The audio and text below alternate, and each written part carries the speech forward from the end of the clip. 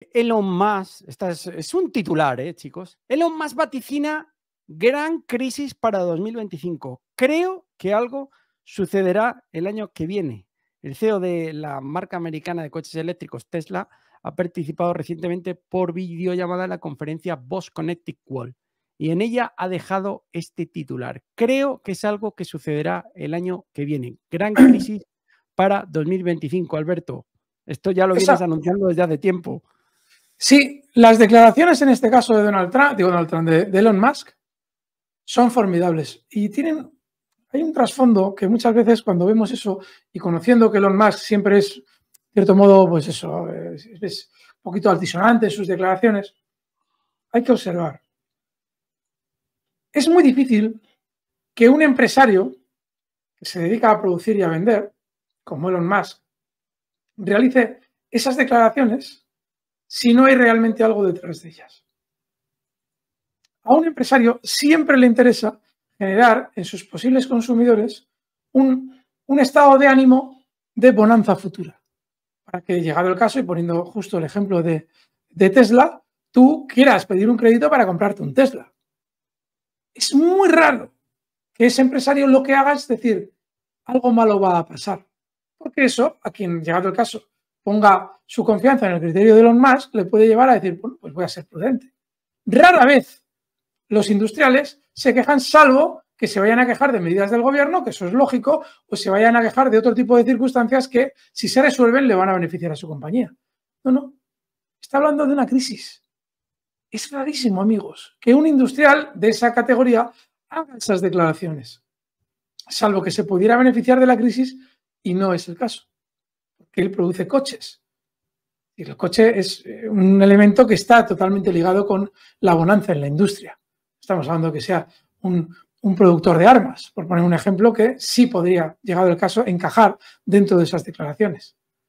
Luego, ojo, porque es probable que esté realizando las declaraciones porque sí sabe algo que nosotros no sabemos. El adelanto electoral y, eh, eh, histérico que han llevado a cabo todos los países, es la palabra que mejor se me ocurre para describirlo, para el año 2004 evidencia que a partir de 2005 o 2006 Parlamento eh, portugués le tocaba en 2006, va a haber grandes problemas. Pero ya que nos lo esté diciendo Elon Musk, que en realidad no es un operador interesado en decirlo, nos debe hacer todavía tener más en cuenta ese escenario. Así es que cuando acabe 2024, sed prudentes con vuestra economía. Poned vuestros comentarios. ¿Qué puede venir en 2025? Estoy muy triste, Alberto. Estoy muy triste porque tú que nos estás viendo desde casa, Todavía no te has suscrito a la magia de la bolsa. No puede ser, Alberto. Que hablamos de geopolítica, que hablamos de macroeconomía y de bolsa.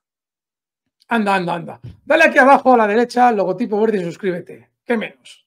Bueno, chicos, gracias por estar ahí. Vamos con la siguiente. Rumanía formará 50 pilotos ucranianos en el manejo de los F-16 en su base de Fetesti. Rumanía entrenará a 50 pilotos militares ucranianos en el manejo de los cazas F-16 al sur del país.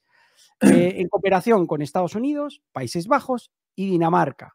El presidente informó al Parlamento sobre el inicio de la formación como parte de un programa acordado en la cumbre de la OTAN en Vilna, Lituania, en julio del 2023, y asimismo autorizó el tránsito a través del territorio nacional rumano de convoyes militares que transportan equipos y bienes donados a Ucrania por parte de Finlandia. ¿Cuándo van a producirse dicha formación? Los soldados llegarán este verano a la base militar de Fetesti. Está previsto que el entrenamiento de los pilotos concluya hacia finales del año 2024, Alberto. Ya nos están explicando cuál es su plan preestablecido. Vendría ahora a preguntarse, convendría preguntarse, ¿por qué se habla de planes de paz? Si claramente, cuando hay una un avance ruso formidable y una retirada de las tropas ucranianas. ¿Están hablando de enviar tropas? Claramente, con la intención de no permitir la victoria rusa antes de las elecciones estadounidenses. Si ahora están hablando de formar pilotos en F-16, que necesitan un montón de meses de formación para poder estar eh, en funcionamiento, esos F-16 cuyo equipo por avión viene a rondar del orden de 100 o 200, no recuerdo exactamente cuál es el número de operadores que necesita cada F-16. ¿Dónde van a enviar esos operadores? Para arreglar los problemas que puede tener el avión, asistir en, el vuelo y todo lo demás. ¿De dónde van a salir? ¿También los van a formar en Rumanía? ¿O van a ir de la OTAN? Más probablemente. ¿O se les va a ocurrir hacer despegar los F-16 desde Rumanía para que Rusia les envíe un pepino? Hay muchas dudas sobre eso que todavía no están aclarando, pero la más importante es, ¿por qué hablan de conversaciones de paz? Si todos los pasos que están llevando a cabo evidencian que tenían clarísimo que la guerra va a durar por lo menos un año más.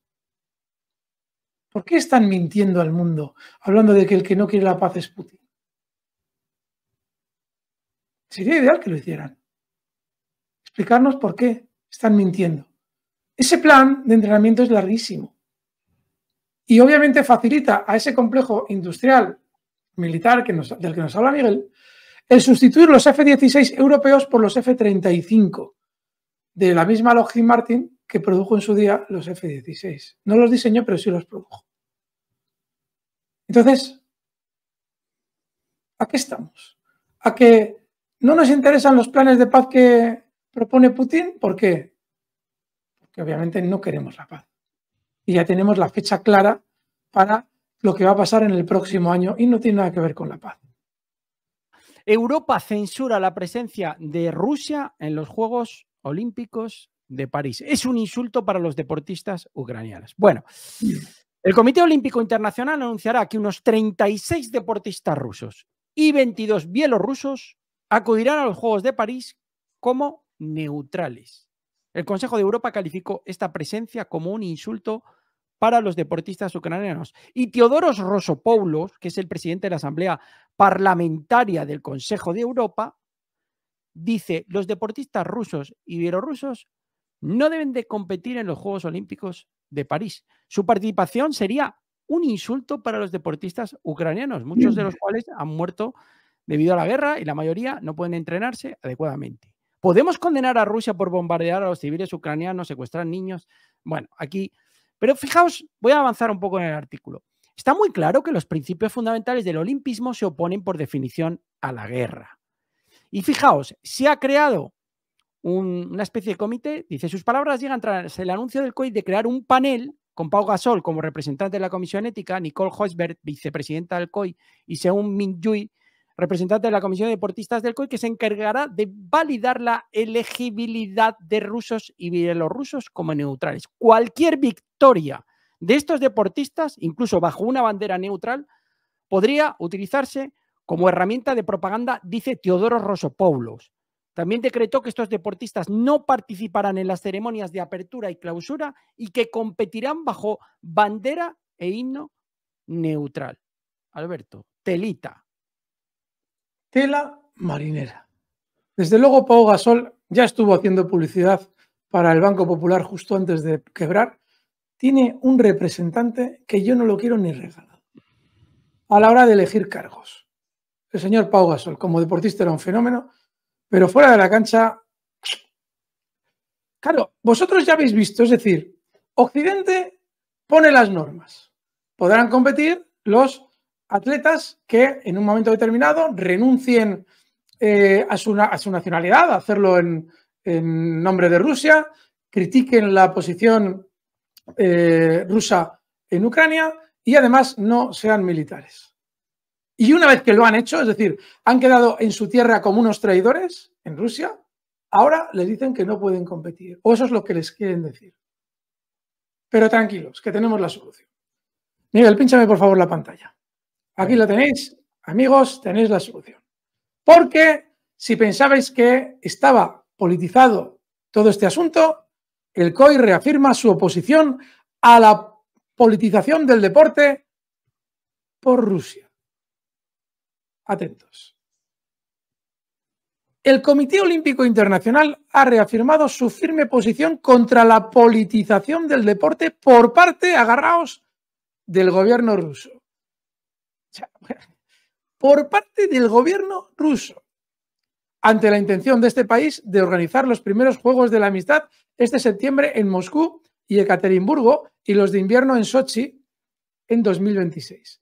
En este sentido, el COI recordó que la Carta Olímpica habla de aplicar principio de neutralidad política y que su papel es el de oponerse a cualquier abuso político o comercial del deporte y de los atletas.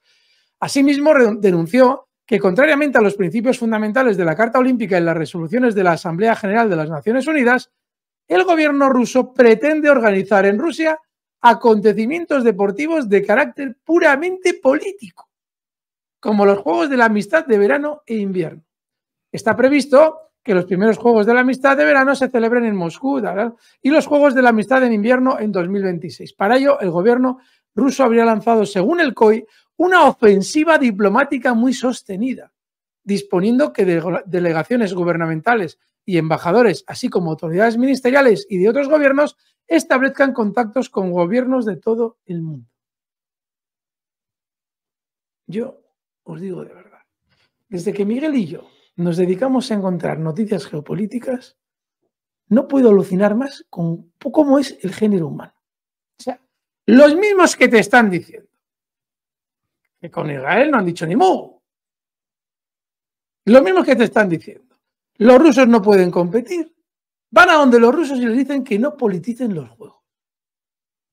Yo, yo chicos, de verdad, Miguel, hay, hay, cosas que se comentan solas y seguramente si hacemos un comentario lo estropeamos. Yo no sé si tú tienes alguna consideración a este respecto, porque yo estoy alucinado, amigos, alucinado.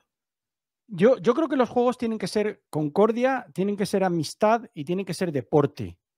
Y la politización la están haciendo justo al impedir que los rusos y los bielorrusos vayan con su, con su patria. Y de hecho, fijaos, habla de los rusos y de los bielorrusos. O sea, ya son incongruentes al cuadrado. Porque que sepamos, Bielorrusia no está actuando oficialmente en Ucrania. Yo, no, no, puedo entender. Ojo, es un desprestigio enorme hacia los Juegos Olímpicos, porque los atletas rusos históricamente han sido de élite absoluta y han llegado a copar eh, disciplinas eh, de manera recurrente, olimpiada tras olimpiada. No van a ser lo mismo. Decidnos qué os parece, si vosotros realmente creéis que pueden ser unas olimpiadas normales sin los atletas rusos. Ya no solamente es que estés dando una imagen lamentable, es que te estás pegando un tiro en el pie, porque la competición se desvirtúa completamente. Y además, Alberto, qué casualidad que se celebren en París con Macron ahí presidiendo la inauguración, ¿eh? Y pidiendo también. Todo encaja, ¿eh? Todo encaja a la perfección. Yo lo siento mucho por Pau Gasol, que, además de buen deportista, yo creo que en el fondo es una buena persona. Eh, yo le tengo cierta simpatía mm, y respeto porque ha conseguido cosas grandes para España, la selección de baloncesto y fuera del ámbito baloncestístico. Pero es verdad que lo que has dicho tú del Banco Popular y esto, pues, pues jo, es, una pena, ¿no? Elige, elige los, los, sponsors y los cargos de una manera un tanto regulera. Por decirlo mal, bueno, no, no demasiado mal. En fin, amigos, eh, ¿qué os parece? Gracias por ver el vídeo y gracias por ese like que también nos viene. Pero no me lo puedo creer. No me puedo creer que todavía no estés suscrito a la magia de la bolsa. Anda, clica en la parte inferior derecha, ahí abajo que tienes el logotipo, y suscríbete al canal de moda, la magia de la bolsa todas las tardes, geopolítica, en estado puro.